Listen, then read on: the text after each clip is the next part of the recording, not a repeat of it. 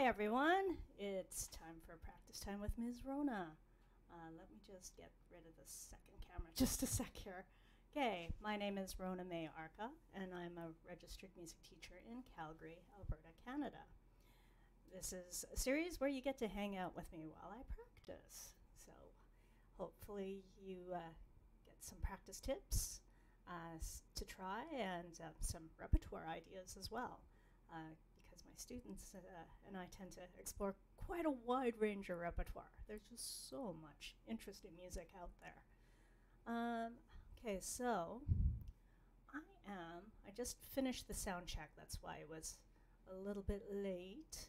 Um, what I think what I'm going to do though is everything's sounding okay. Yeah, at least through the headphones.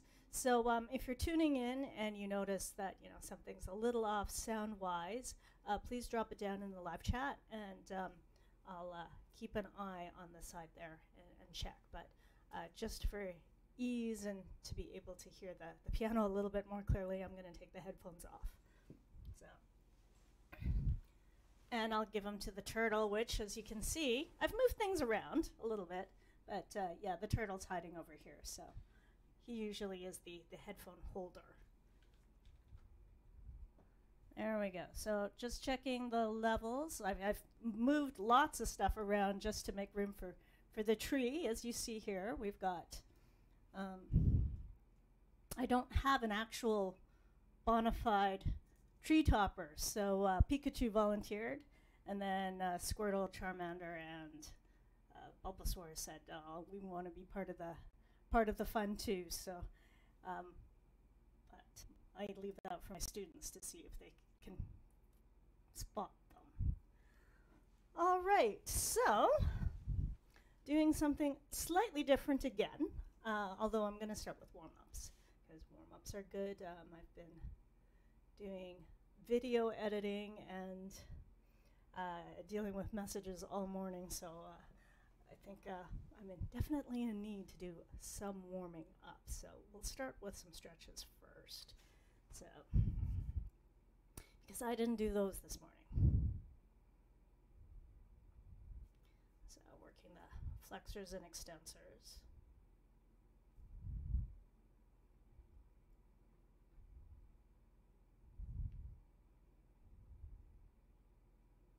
Oh gosh, my hands are so dry. How's everyone's hands doing these days between the frequent hand washing and the frequent hand sanitizing? I'm getting eczema. I'm gonna have to uh, do something there to to fix that. Okay. Hmm, that'll need to be massaged a little bit later. So, one thing that uh, my piano teacher friends and I have noticed, well, piano friends as well, because I have piano friends who don't teach, is uh, we, we tend to to carry our attention here in the flexors and extensors. Uh, eh, depending on the piece, sometimes the tri- not so much the triceps and the biceps, but they do get used. Uh, a lot of the tension is neck and shoulders, so those we always have to work on, and then back as well because you know, sitting practicing for hours. We'll tend to do that, and we I think classical musicians especially forget that. You know, we can move, we can stretch. It's only once we start getting injured that we realize, oh, have to take care of our bodies. And that's actually a good uh, practice to to do these little stretch breaks, uh, you know, every half hour or so, uh, like the Pomodoro technique.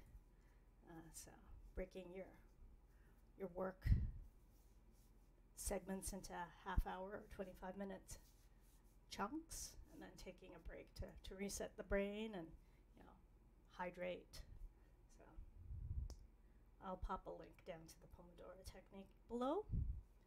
Uh, I find that when I do it I wind up with very productive days. When I don't do it not so productive okay I think that'll be good for now all right, so I'm going to move on with this, um, this practice drill that my students and I were playing around with yesterday. So um, students are plugging along with their technical requirements. Uh, some are a little slow still, still trying to figure out the notes and fingering, but we have found that uh, playing around with uh, where we put the accents for some reason seems to work. So I'm just going to do uh, a camera switcheroo here. Oh, I lost my little thing there. I'm going to grab my handy dandy dice. So I can't remember. I think I got this container from a student. I think so. It's got like African scenes. So I ha I've had a couple of students go to Africa. So I realized it's a perfect container for the dice. And it looks pretty. Okay, I'm just trying to reach for two D12s because we have 24 major and minor keys. And I'm going to roll to just put my keep myself on my toes. So 20. Okay. Um, I don't have my clock here. Hang on, I'll be back. I usually take my circle of fifths clock away when I'm recording or live streaming. You'll you'll hear why in a sec.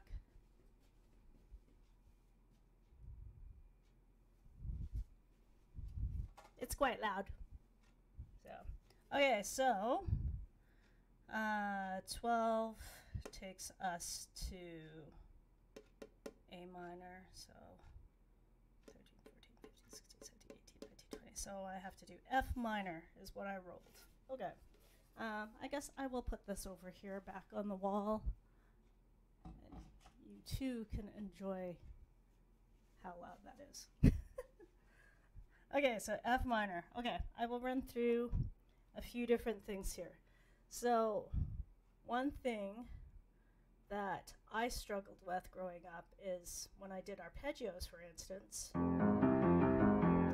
I would accent on triplet. I would do triplets.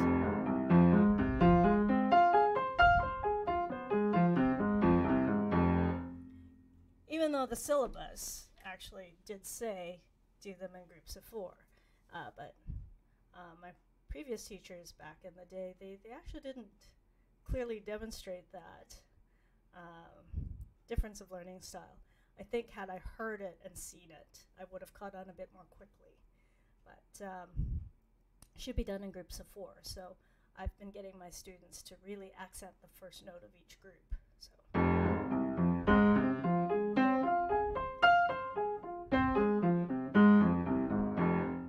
And then just to really work on, you know, breaking that habit and sorting things out uh, putting the accent on the second note of each group. So.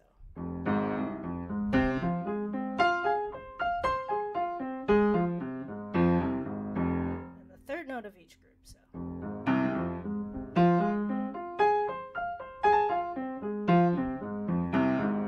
Don't worry too much if you like slip on a note. Uh, finally, the fourth note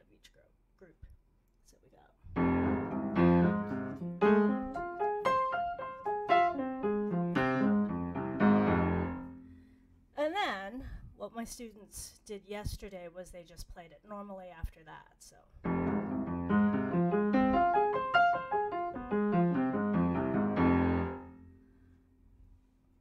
So I hope for those of you who are listening, uh, compare the first time I ran through that to the to the last time. Uh, there should be two main differences. So one, it flowed more smoothly. Two, it was faster. So my students did that with arpeggios. They also did that with broken chords. So, uh, hang on. So.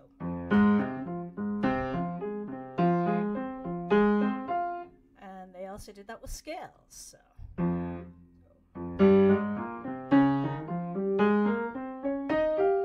Oh, I just gravitated to natural. Okay.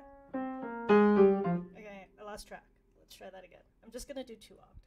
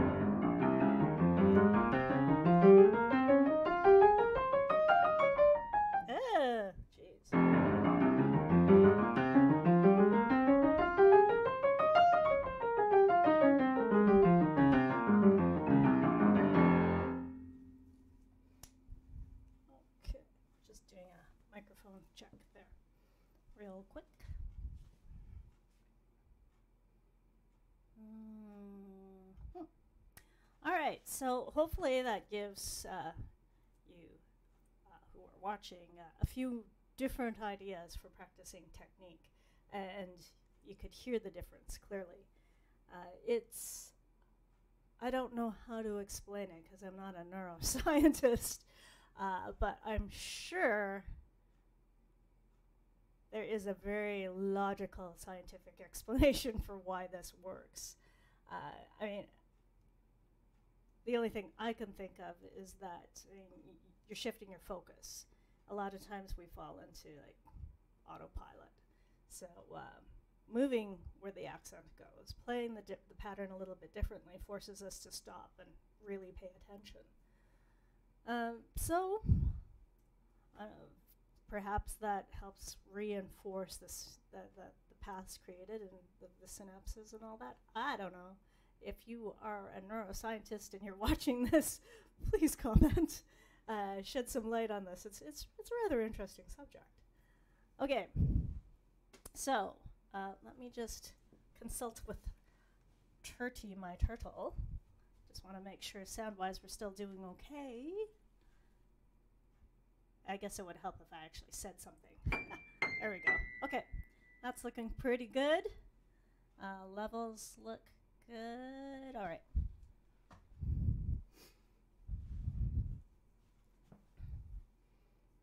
Okay, so moving on. So, going on with the the theme that I had uh, in the previous month, where I was practicing, you know, pieces in order from you know Baroque era up to modern. I'm gonna change that up just a little bit for this month, just you know, just for fun, uh, but I think also to help uh, help myself as well as you who are watching to to start seeing patterns. So what I've done is I I'm going to focus on two extremes today. So I'm going to work on Baroque pieces, so various pieces that my students are working on. I'm going to leave my Rameau for a bit later. Take a practice break and then I'll do that. And I am overdue for putting up a practice clip on that, but later. Uh, now, I've also done something a little bit different this time. I've grouped the composers by, I've grouped them by composer too, so era and composer. So hopefully uh, that makes it a little bit uh, interesting or illuminating to just see certain patterns that each of the composers had, i- and you know, being able to to recognize and define their style a bit, or you know, music from that that region even, because French Baroque is quite different from German Baroque, which is quite different from Italian and Spanish Baroque. Anyhow, uh, so we're starting off with Baroque, and then we're going to zip forward to uh, the modern era, uh, checking out some gamer music and some anime music as well. Uh, jazz would have been the perfect pairing, but I don't have. I have a couple of pieces I could have paired, but uh, right now uh, the the need for, for my students is to to go through these particular eras, especially because they both have their own challenges. So, uh, Mozart, not Mozart. okay, so the famous minuet in G major, uh, originally attributed to Johann Sebastian Bach, uh, because it was in the uh, Anna Magdalena book, but uh, now it's uh, been um, i it's commonly believed it's Christian Petzold who was the composer for this. So I'm just going to quickly run through this. Um, yeah, I suppose I should have grouped it with Bach, but uh, now that most people believe it's Petzold, uh, I thought I just, the outlier. I'll put them first. Okay, so my student's been plugging away at this. Uh, the main thing that he and I are going to have to start working on now that he's more comfortable with notes and fingering uh, are the ornaments. So I'm just going to run through it plain. Um, actually, I'm going to do a full run through with repeats because uh, normally this would have been done where we do the repeat and then we would ornament on the second round. So.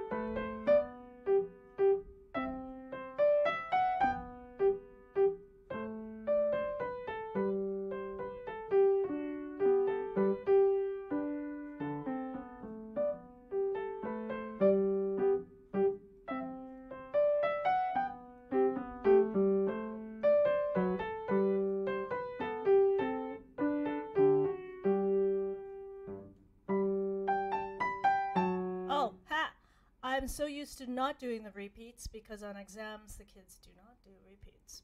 Okay, so now I'm going to go back and yeah, do the second time.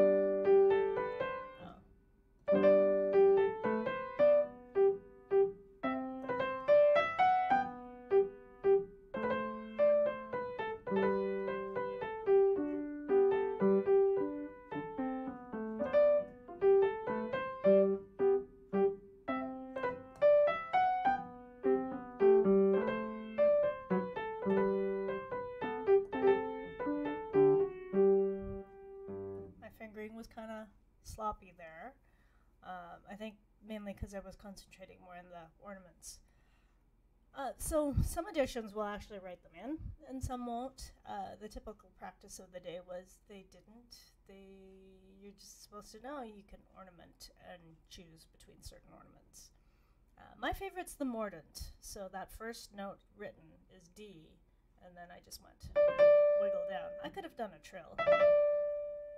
Uh, the this edition has uh, lots of mordents, so I just stuck with mordents and appoggiaturas.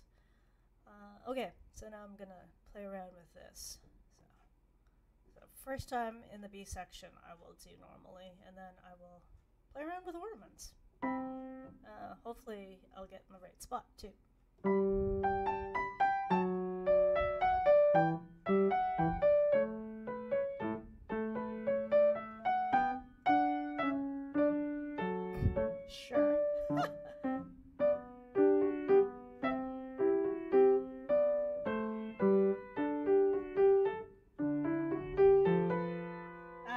Be a sharp. That's a misprint. I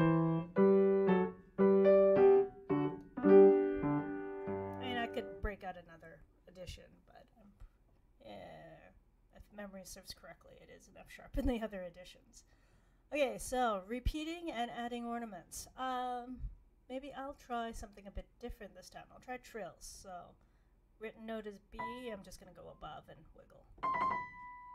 Let's see if I like that better. Yeah. Too. See, I've been working on French Baroque for too long, throwing in ornaments everywhere. Um, I'm not going to put them everywhere, I think.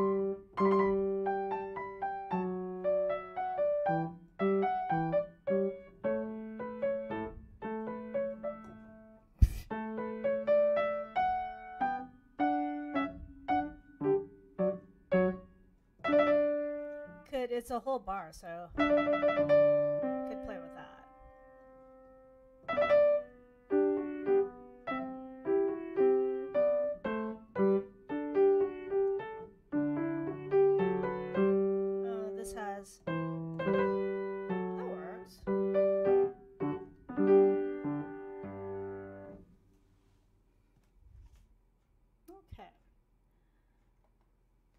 hopefully that gives a few ideas in terms of ornaments. There could be others. Uh, you could do a turn.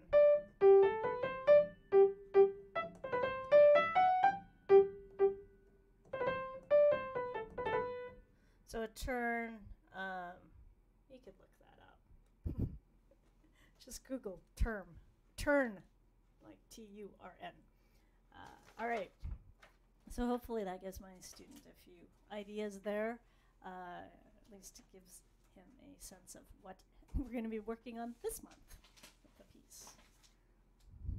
So, and got a couple of Telemann pieces next. So this is my student who's uh, working on her grade five exam, and thanks to Conservatory Canada, uh, they have got these Flex E exams, so she's doing her exam next weekend via Zoom because it is still not safe to do in-person exams yet. So, oh, dropping post-it notes. Okay, so Telemann, uh, so born 1681, lived till 1767, was a contemporary of Johann Sebastian Bach. Um, from what I remember of music history, the two of them often competed for the same job postings, and Telemann usually won. But the interesting thing is, you know, several hundred years later, who's more famous at the moment? Bach. All right, so I'm just going to quickly run through the aria kit because uh, next week we're going to have like a super nitpicky class just fine tuning everything or just tweaking before the exam. Um, so I am going to run through because I like her to work on putting a couple of little ornaments. I know she's been doing some, but I think we need to just really make sure that they're they're locked in. So, quick run through for me to get get it back under my fingers. Because I don't think I did the demo video for this. Well, I did it last year, I think, or the year before. So.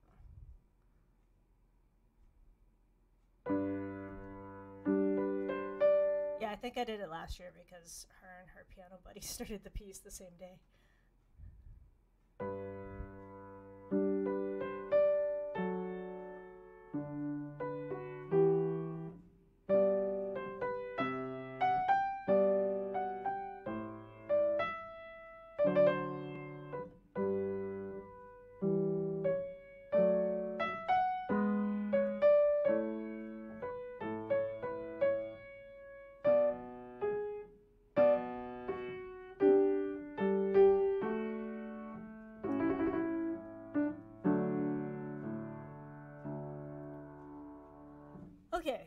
She's grade five. They usually say by grade five, do not do the repeats, uh, at least for the ConCan exams. So you, you, will have to add the ornaments in the first time round. Um, so I'm gonna just lock those in. Maybe see if I can toss in an extra one. So.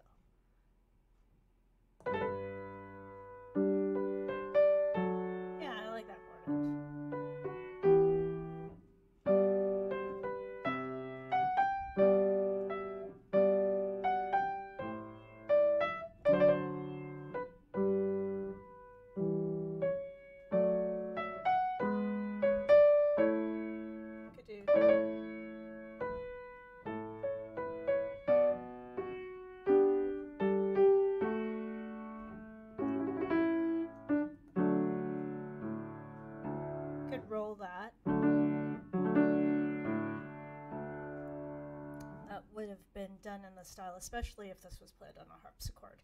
Because this would die out immediately. That'll help sustain the tone a little bit longer.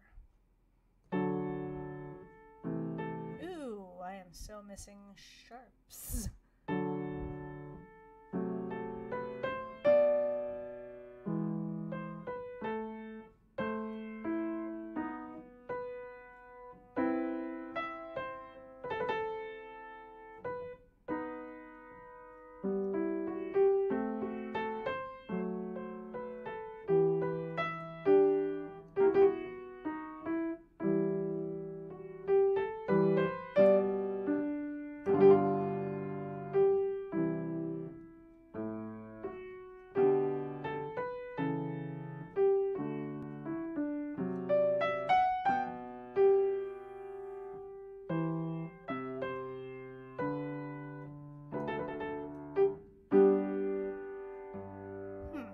was going to toss in an extra ornament. Oh, maybe at the beginning of verse 7. So let's try a grace note this. Uh, no, um, trill. Could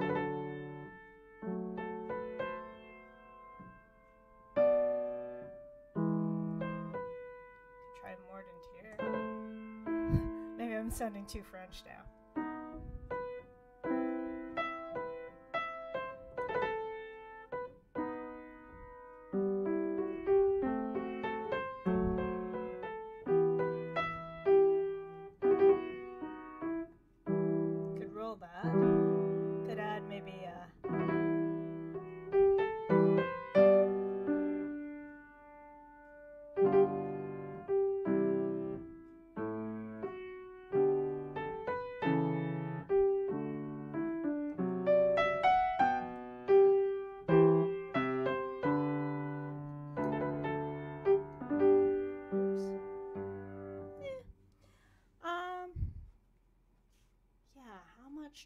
Trills is too much chills? That's the question.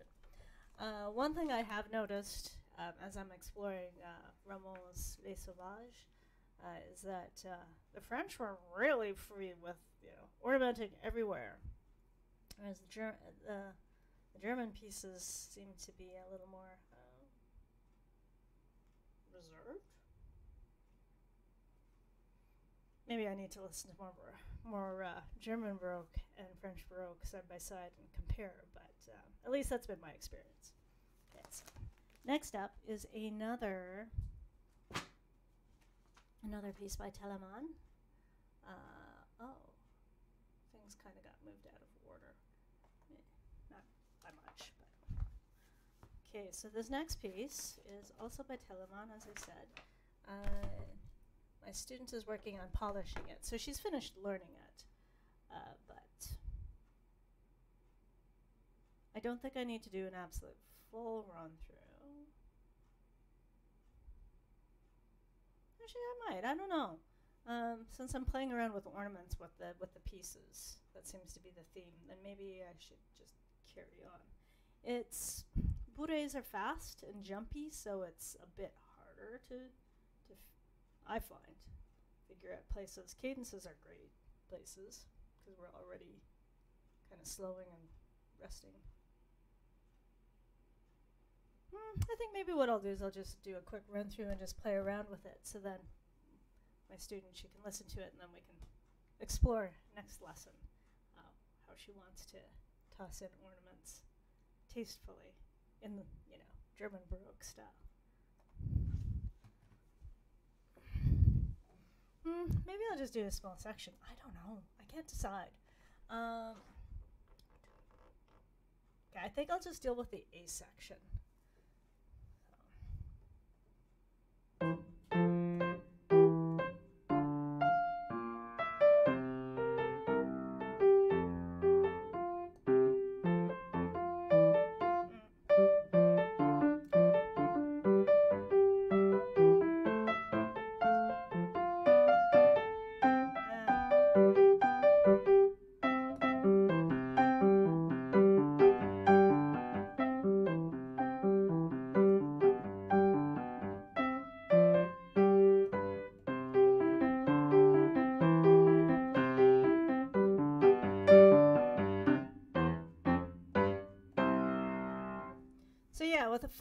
Baroque piece, it's ki- it's kind of hard to be as really know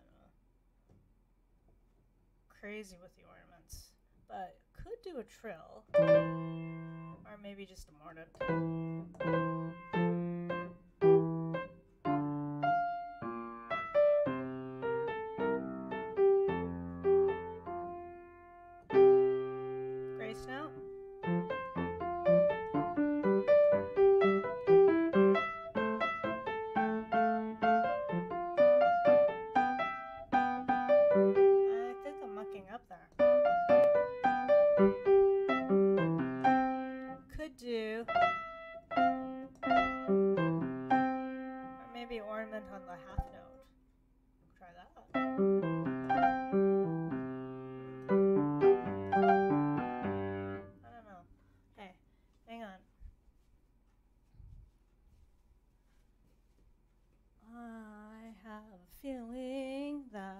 Pressure, air pressure is dropping.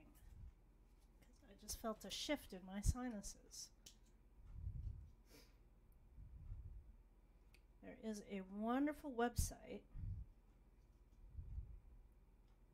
So, if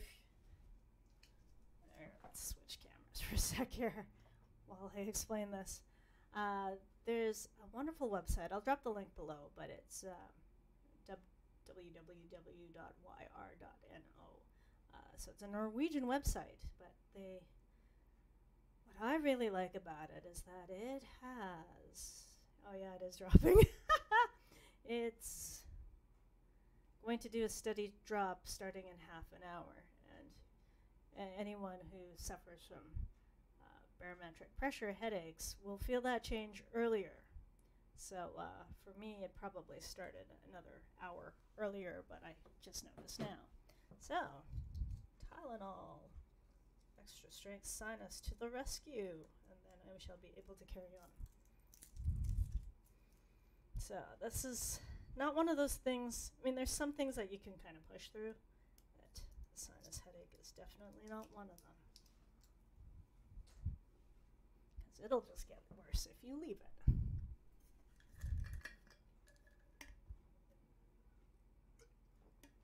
All right, sinuses should be happy now. At least in a few minutes. Okay, back to Telemann, back to Bourrée. I don't know. I'm really torn about because that could work. Um, now I'm just gonna grab my Ramon if I can find where I put him. Charlie Brown's Christmas. I'm not too sure where he is. I'm seeing all sorts of books except for the one that I'm looking for. Uh, that is the problem with for music teachers. We have so many books. I really don't know where it is. Okay. Uh, but I have lots of.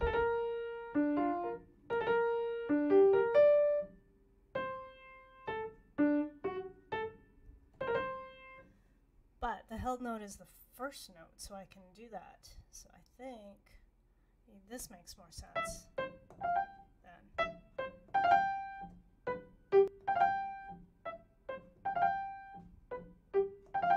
I could do a trill. Ooh, sounds very bird-like like that way.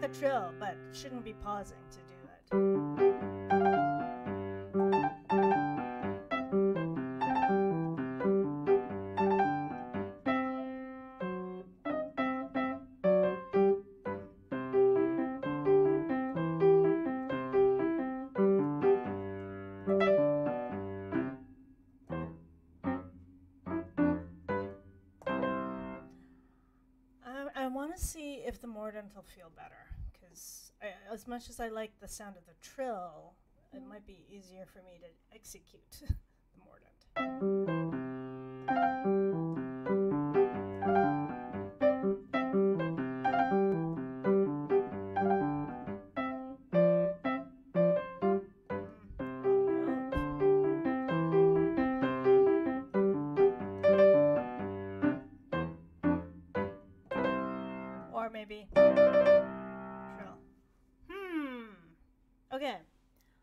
Student play around with those options and see what she likes better.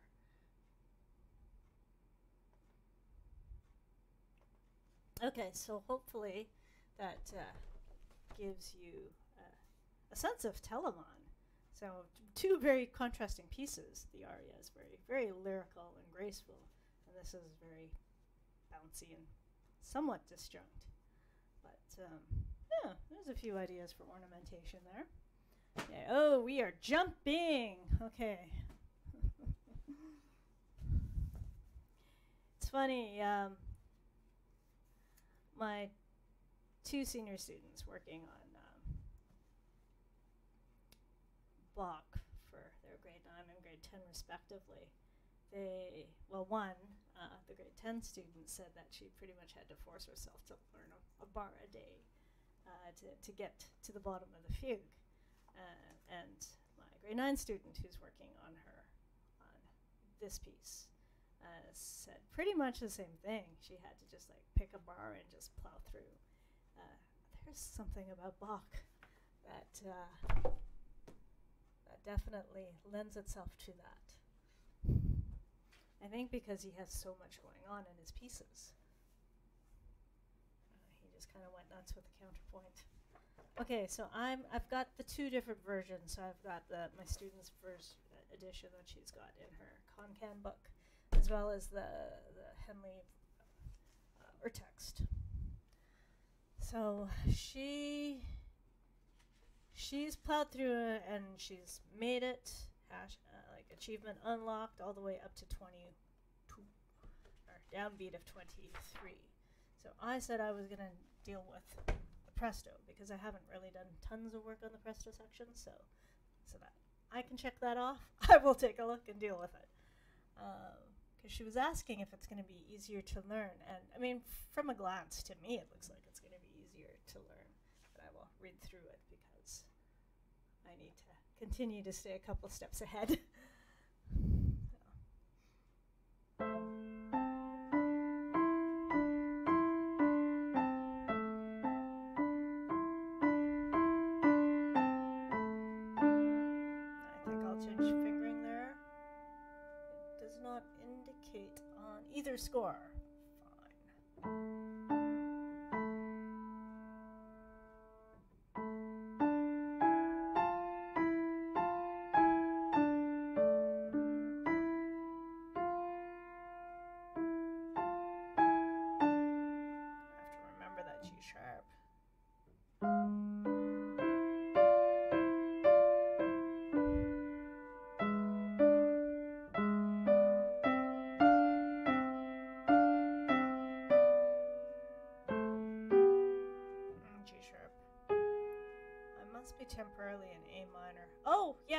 The beginning of the Presto chord, chord uh, the, the beginning of the Presto section is an A minor triad,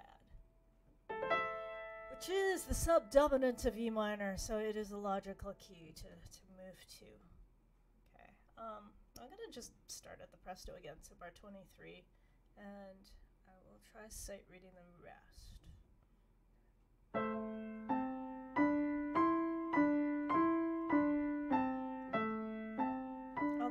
I did a full run through at some point, so not totally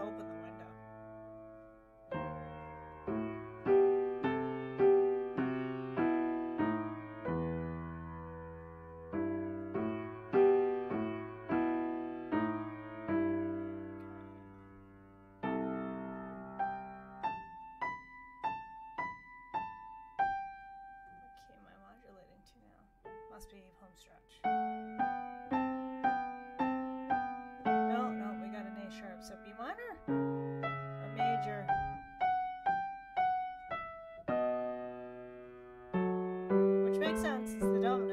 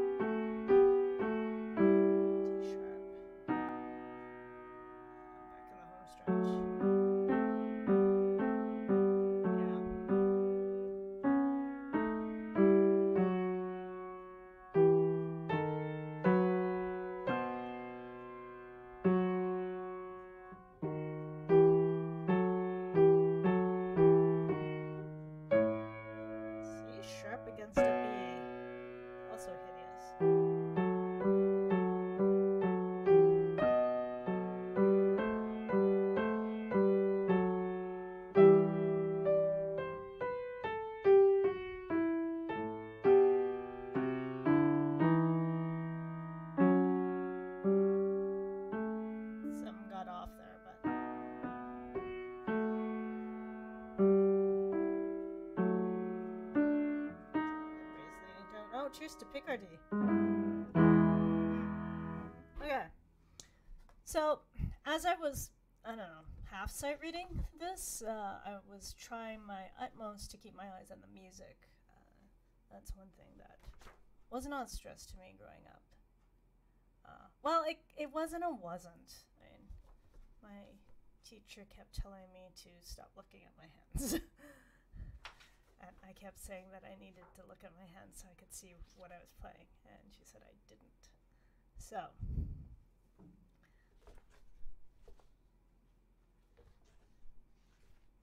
It is a good practice with sight reading, though, which means you have to be able to feel your way around. So I'm not even looking down, or I kind of can see the keys from the peripheral. I found the group of three, so here's F, G, A, B, C. Um, I know that my hands can do, yeah, they, they kind of lock onto an octave, and that's what a, a triad and reposition feels like, or like that. So, yeah, learning to feel your way around the keyboard is a very handy skill. Okay, I am trying to figure out. So I'm going to compare and contrast this with my next student's piece. It's Green Doggy.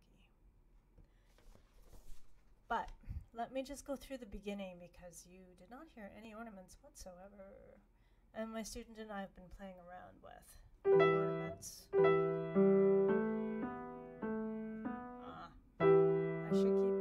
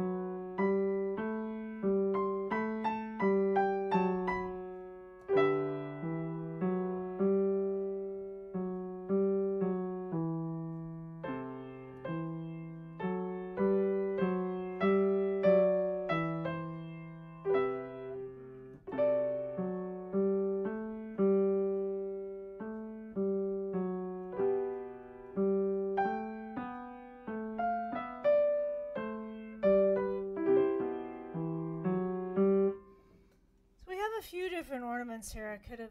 Oh, hang on.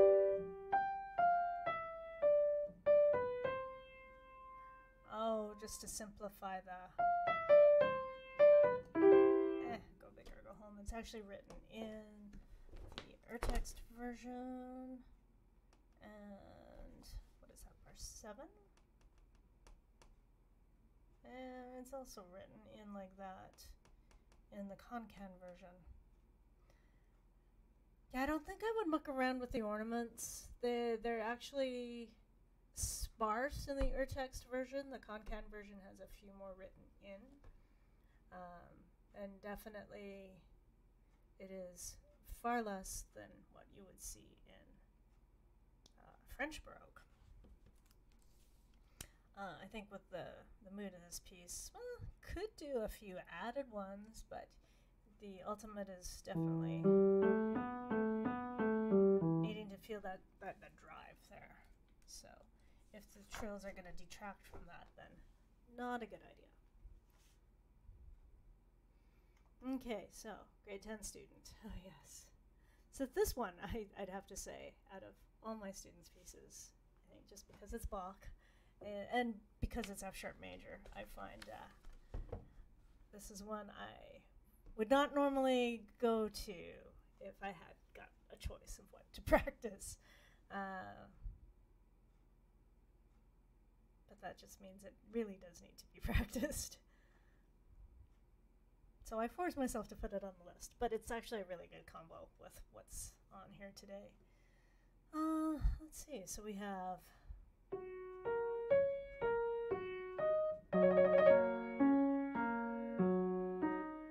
So my student and I have been listening to different performances of this by you know well-known and not so well-known uh, Baroque specialists and amateur musicians.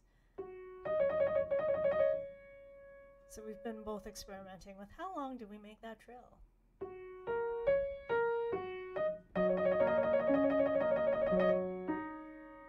Could do it that long, I suppose.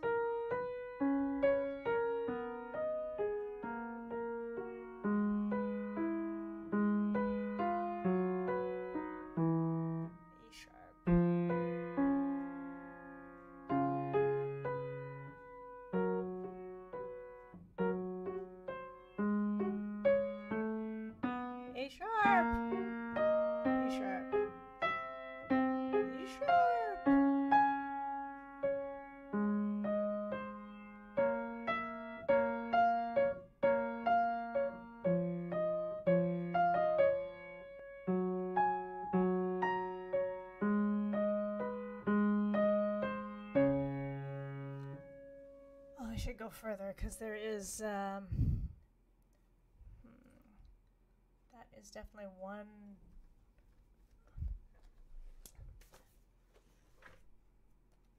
Interesting ornament in bar seven. So I'm act- actually just gonna go back here. I need to keep an eye on the clock. Okay, not doing too badly.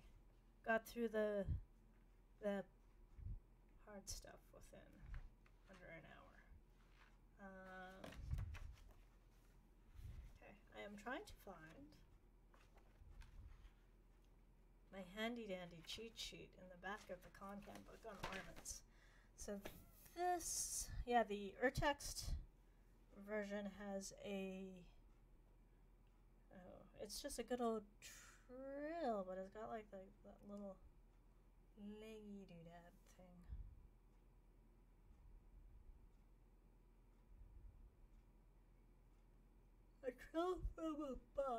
Excuse me, sorry. But then the other one is just. Hang on. Okay, so that has one. Oh, no, no, no, no.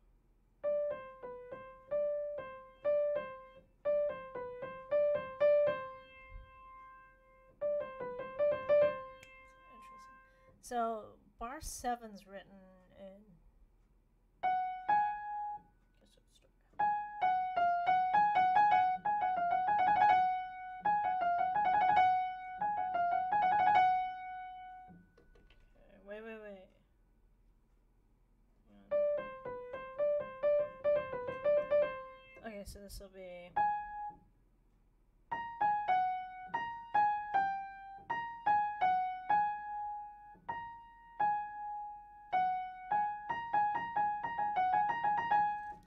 If I'm reading the ConCan chart right, this should be um, A sharp, G sharp. Hang on.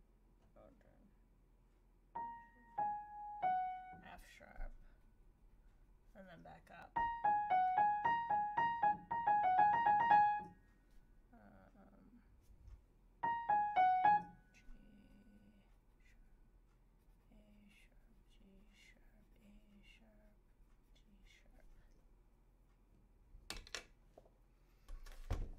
Um. Hmm. So let's just go super slow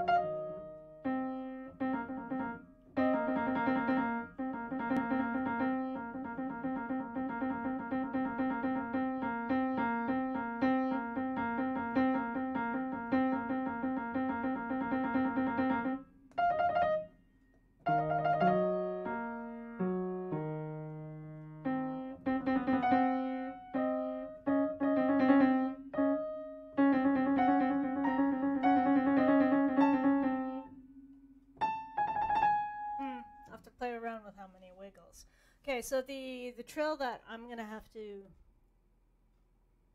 play around with.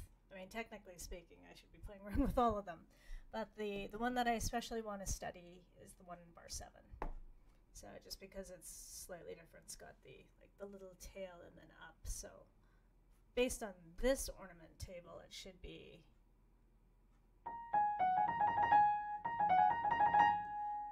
Should be all same speed.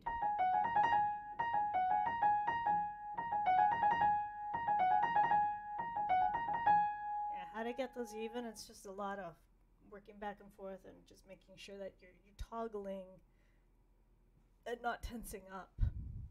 Okay, so now we're going to change eras completely. Um, I'm just going to change the order here. So remove that one. Oops! No, no, no, no, no, no, no. That one needs to move down. Okay. Uh, I mean, these are all from different Okay, I think I have them in chronological order. They're they're just oh, they're all different composers. But Fukai Mori will be first up. I dropped my pencil. So Fukai Mori was, I think, the second ED for Inuyasha. I never really did get into Inuyasha. I watched a couple of episodes. Uh, I do love the band though that uh, that wrote the piece. So uh, that is Do as Infinity. Okay, I'm just gonna check the battery here. Just make sure it's not red. It's green. Yay! Okay, so my student has been plugging away. She's got page one. She is now moving to page two. So I'm just going to run through the chorus, which is, or pre chorus and chorus, so, which is page two. Um, I just want to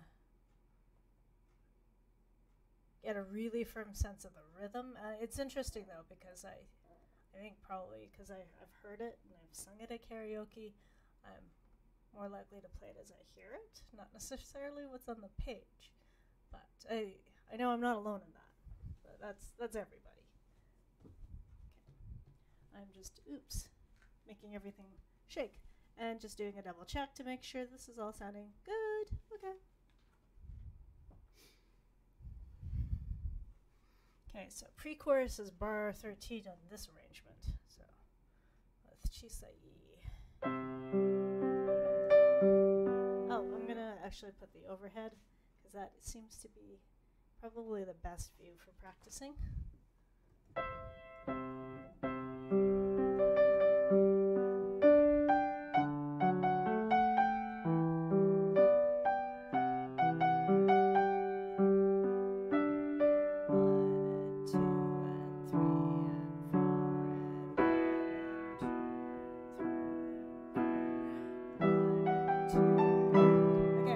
So what is written here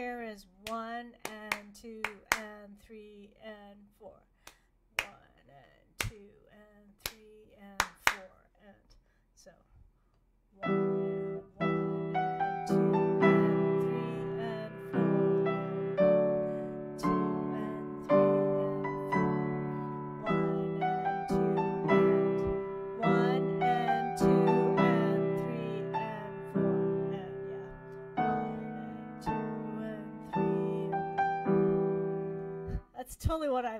One of the things I do like about J-pop. That is not a chord progression we would normally hear in a North American pop song, or even a European pop song. Hey, hang on. I need water. Now that I've got that a bit more firm in muscle memory again, um, I'll just do a full run through. Uh, I mean, I don't think I'm doing it that far off from what I've heard in karaoke, so.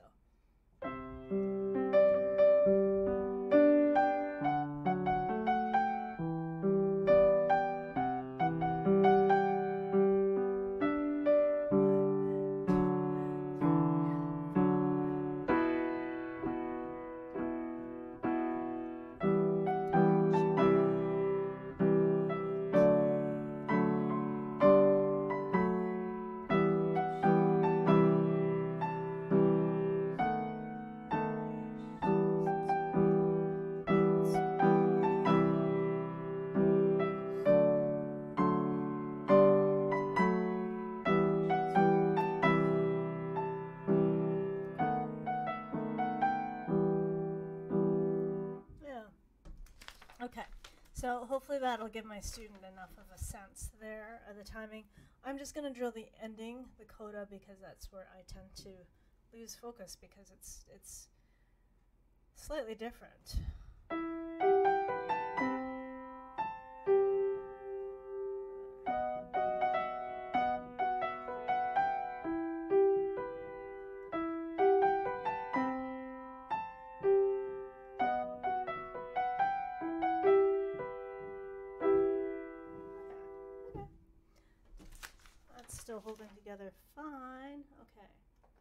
Moving on.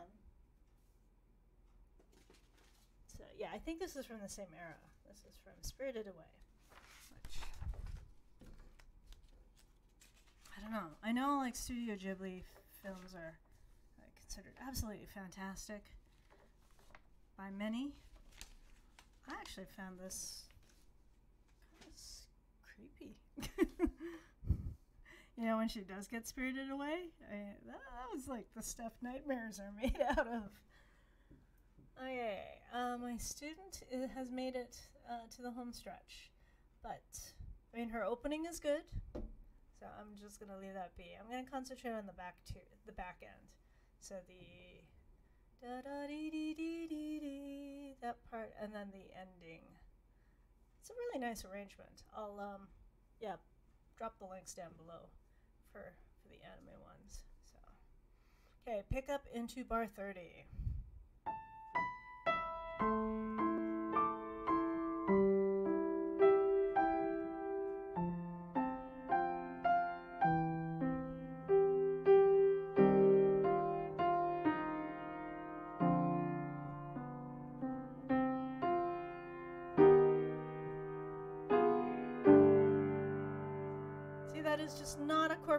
You would hear in, yeah, North American pop music.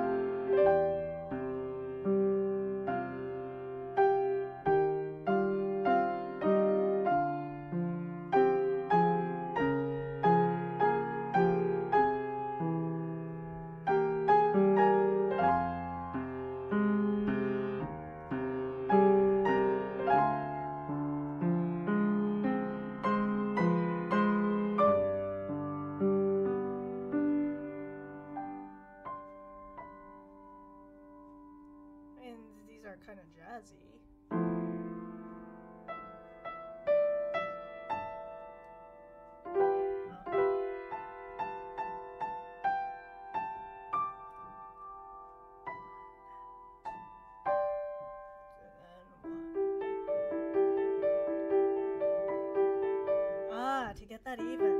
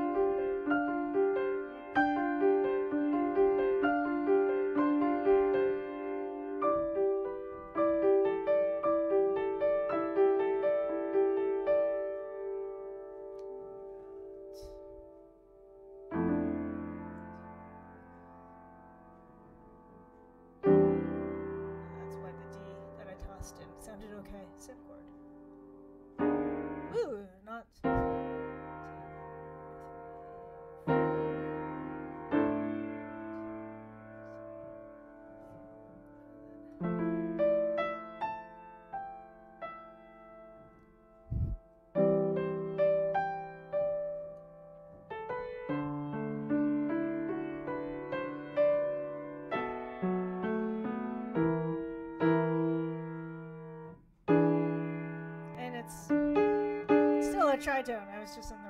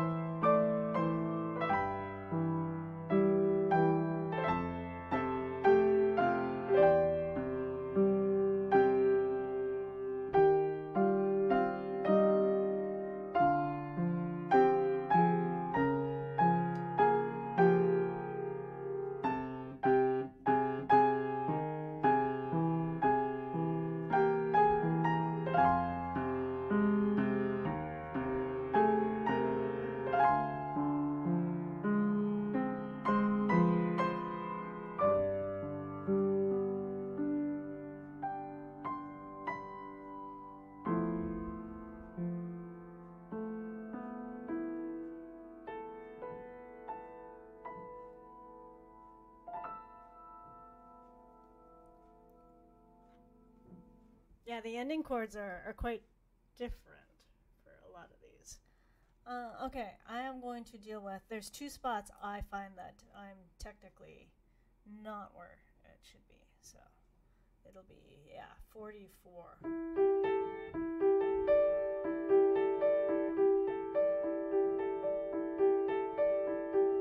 So to get this even, I'm kind of leaning more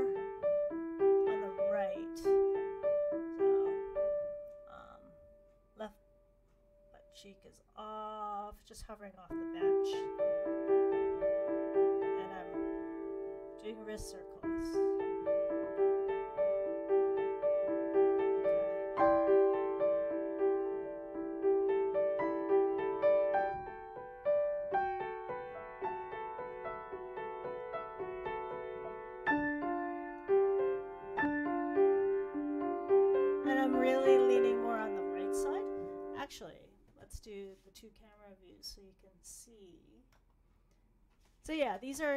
Actually little little tricks that you learn. So sometimes, you know, especially at university, we were told to like really in, in piano camp, really going in, in into the notes or out or dropping in using your using your body to help. So, um, because yeah, if I'm leaning more here, just because of angle, that's going to be stronger. So I'm leaning more this way to make the upper notes a bit stronger. Because this is such a yeah weird spot. Okay, 43.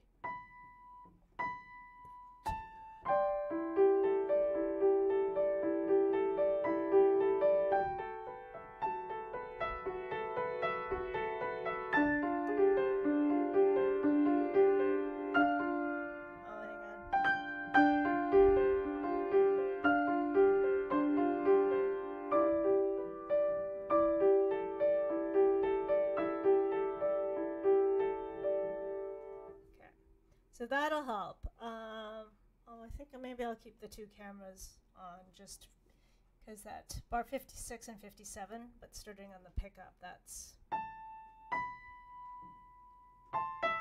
So actually, I'm just gonna block the chords.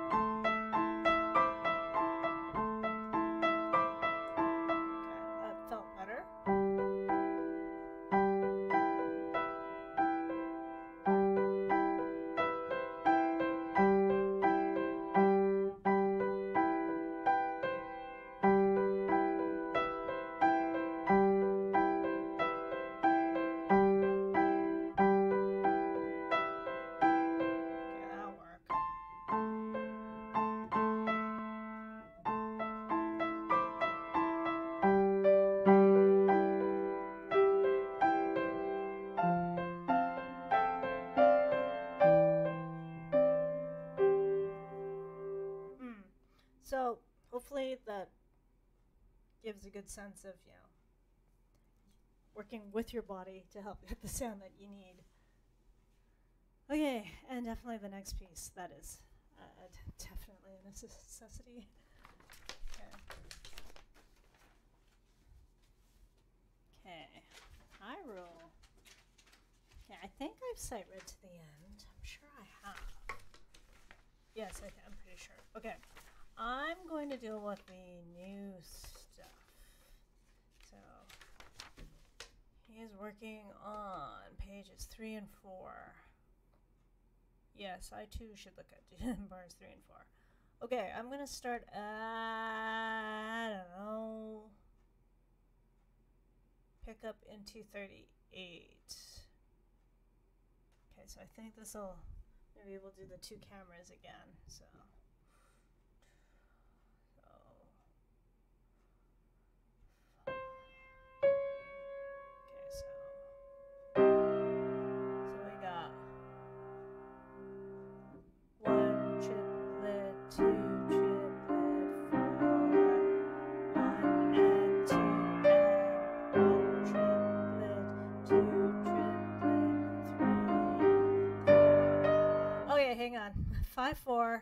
It's grouped in three plus two, so I'm gonna go. One triplet, two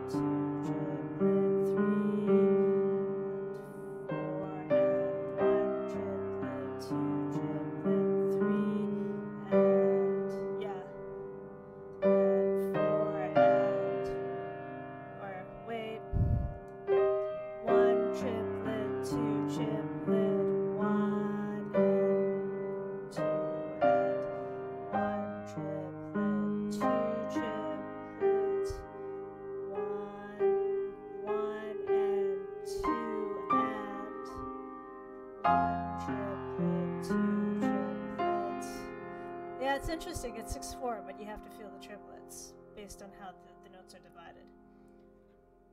Oh, that is no.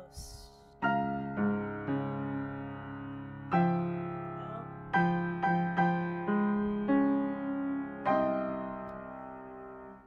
Hmm. Okay, at least I'm feeling rhythm more. Okay, so we got one triplet, two triplet,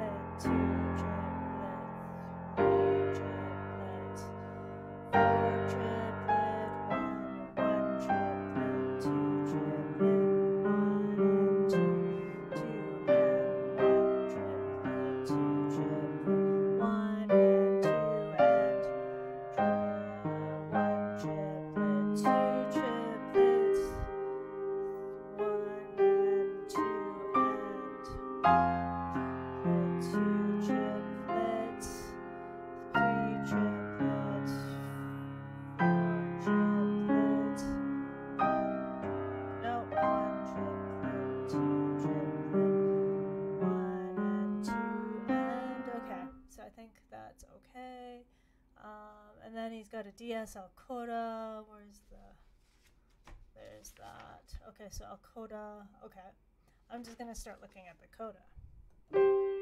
So we have one triplet, two triplet. Seriously? Okay. One triplet, two triplets, three. I'm just trying to figure out. Okay. That's just subdivided so strangely. Bar 49. Okay, let's go to bar 64. So.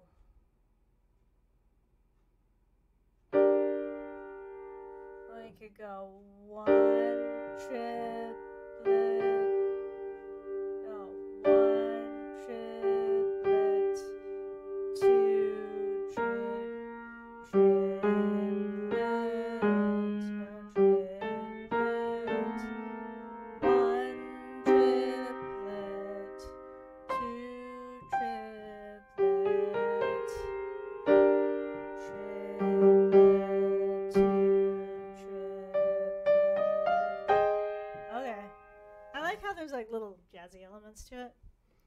Cool. Okay, I will play around with that another day.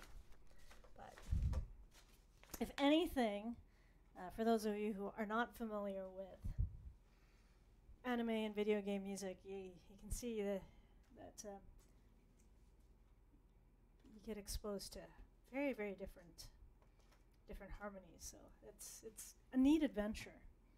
Okay, I am gonna have to set up a different binder for this, but I just wanted to put this piece on in a binder so that I can deal with the page flip. Okay, so last time I worked on this, I think I got these. Yeah. A little bit off, so I'm gonna just do a note check. Mainly is the goal for this piece.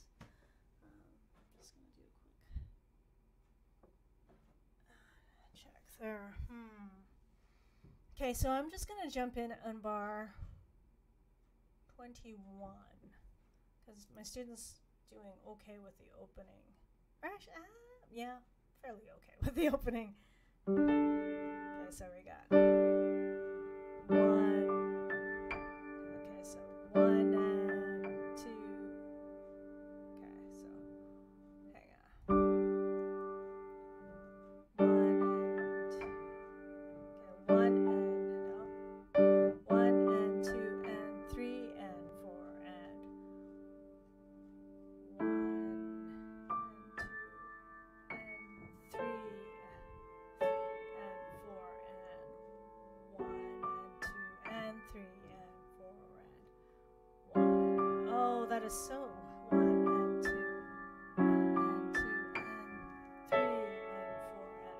Okay, so this is done in the style of a you know standard pop song, four chords, just not not usually the chords we're used to hearing in a North American pop song, as this is not.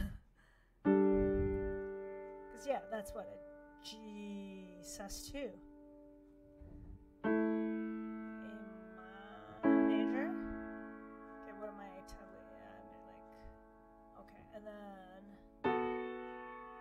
7, F sharp minor 7, and then the pattern repeats. So, very cool harmonies. So we got 1 and 2.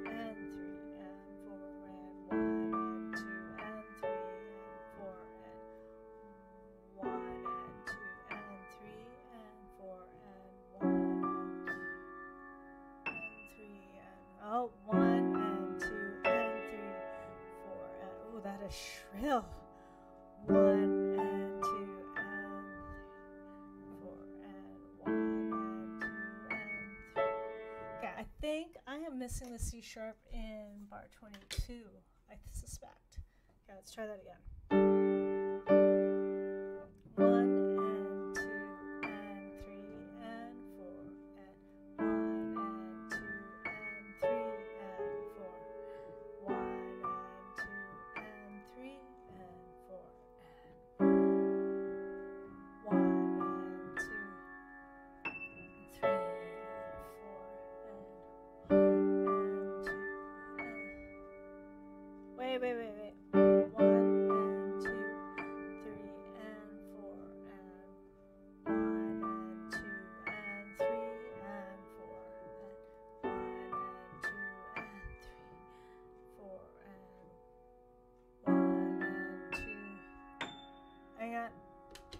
Way too many ledger lines. Gotta double check.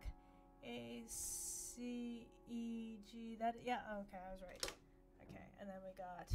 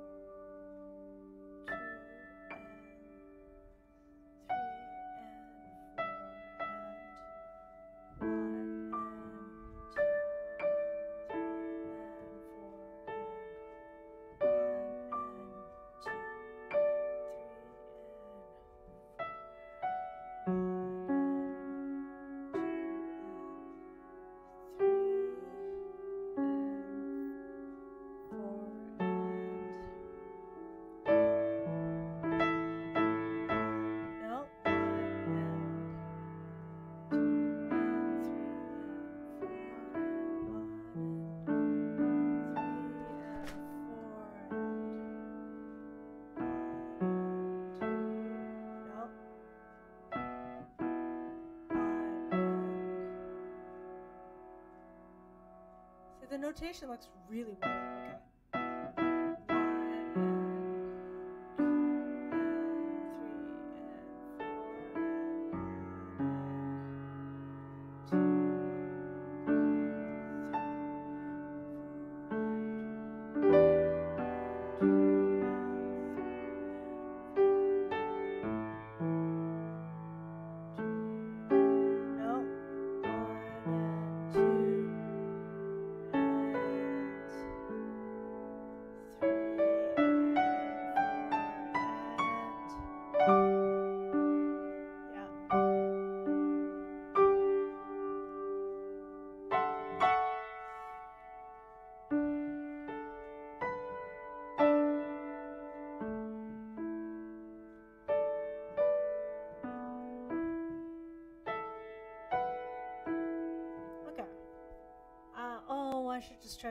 Section. I really should.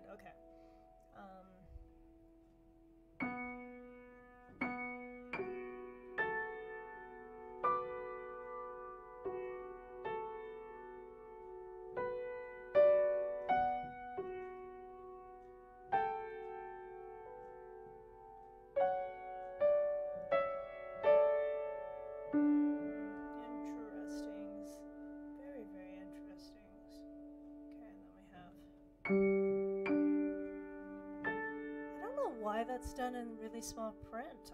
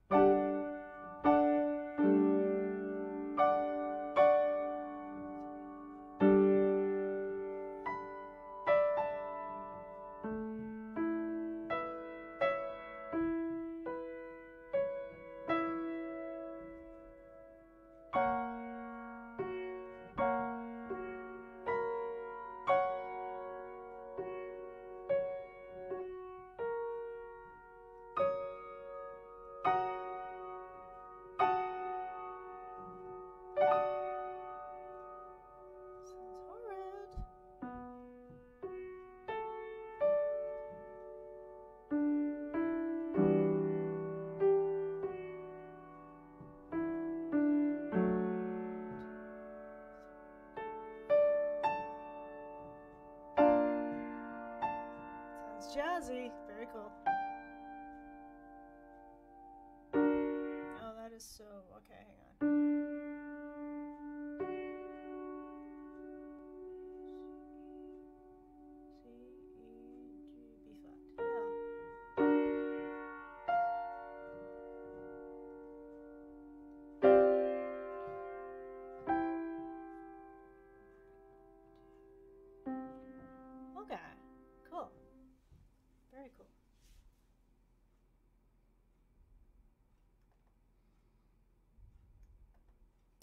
So that's that was everything I set out to do for today for today's session, and yeah, um, after I end the broadcast, I'll uh, take a wee bit of a break, get a couple of other things done, and then uh, I've got a couple of other things that I need to practice. So the, the song that I'm playing tomorrow, or songs that I'm playing tomorrow uh, at our live stream recital for for the local nursing home, and well, yeah, my my remote. So I'll post that later on Instagram.